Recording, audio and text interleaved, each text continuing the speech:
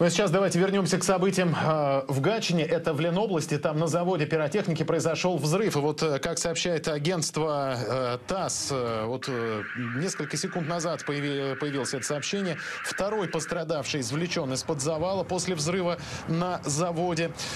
Также по тем данным, которые поступали до этого, четыре человека могут быть под завалами еще в результате, в результате случившегося.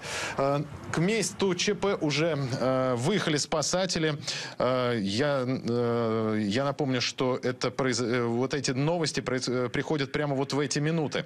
Что происходит на месте ЧП, узнаем у э, представителя МЧС Тимура Хикматова. Он с нами на связи. Тимур, здравствуйте. Э, какова информация к этой минуте у вас? Ну, здравствуйте. Да, действительно, сегодня в Ленинградской области на заводе пиротехнических изделий «Авангард» произошел технологический взрыв без дальнейшего сгорания. По данным на эту минуту, из-под завалов извлекли второго человека, работы продолжаются.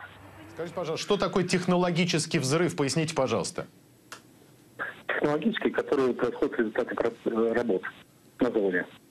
То есть э, здесь идет, э, то есть здесь идет у нас разговор о, э, о чем? О неосторожном обращении с чем-то или что здесь могло произойти? Не, неосторожно произведение... Взрыв, который произошел в результате работ обычных на заводе.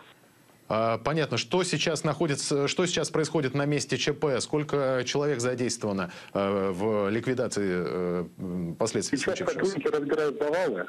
По нашим данным, под завалами находятся четыре человека, и по самым последним оперативным данным, сейчас извлекли второго человека. Работы на месте продолжаются. Работа продолжается. Скажите еще, пожалуйста, а, вот э, судя по тому видео, которое присылают сейчас очевидцы, все это происходит достаточно близко от э, жилых домов. Нет э, опасности э, для жителей э, этих зданий? Нет, э, нет, опасности для жилых домов нет.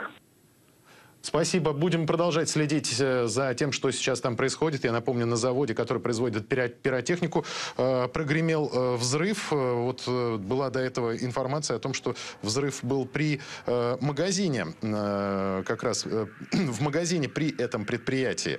И также, по последним данным, двое человек, двое раненых извлечены из-под завалов.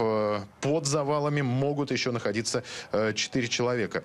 Ну, а все последние новости с места событий нам сообщил представитель МЧС Тимур Хикматов.